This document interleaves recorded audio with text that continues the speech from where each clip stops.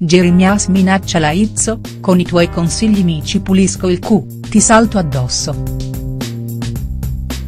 Notte di tensione tra gli stazionati del Grande Fratello Vip 2017.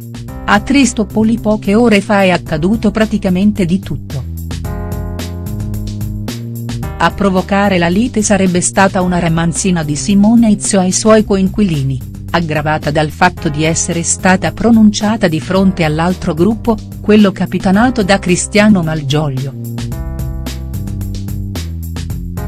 Marco Predolin e Jeremias Rodriguez hanno perso le staffe, scagliandosi contro la regista moglie di Ricky Tognazzi. Una frase del fratello di Bellena, in particolare, ha spinto i VIP a moderare i toni nel tentativo di contenere la sua aggressività. L'argentino, al culmine della furia, si è infatti rivolto alla Izzo dicendole, con i tuoi consigli mi ci pulisco il cu, a me non mi comanda nessuno.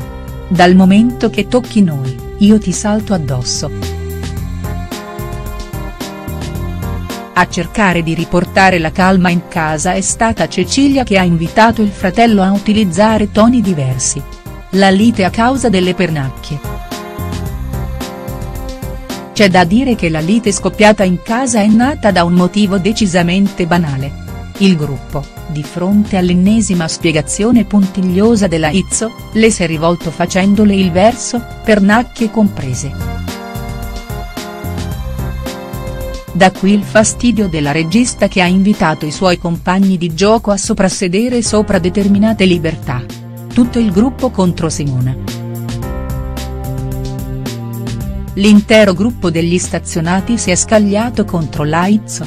Sebbene siano stati Predolin e Jeremias a capeggiare la rivolta, gli altri li hanno seguiti a ruota. Cecilia che già aveva manifestato il suo malcontento nei confronti di Simona, le ha fatto presente di essersi rimasta male per il suo atteggiamento e per il sottinteso nascosto dietro la sua ramanzina, quello di vestire un'autorevolezza differente quando ci si trova di fronte all'altro gruppo del reality. L'unica a non schierarsi è Carmen Di Pietro. L'unica a chiamarsi fuori dai giochi è stata Carmen Di Pietro che non ha preso la difesa della Izzo, ma non l'ha nemmeno attaccata.